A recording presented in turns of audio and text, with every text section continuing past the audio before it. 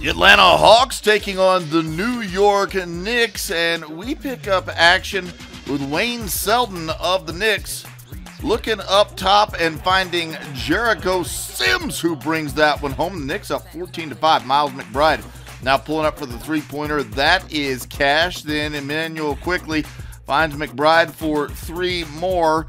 And the combination works so well, they're going to try it again. Three more Quickley to McBride. We're tied at 33.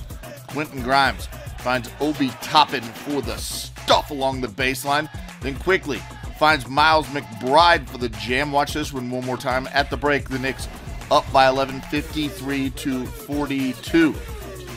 In the third quarter, Sharife Cooper getting loose for the layup. That cuts the lead down to eight.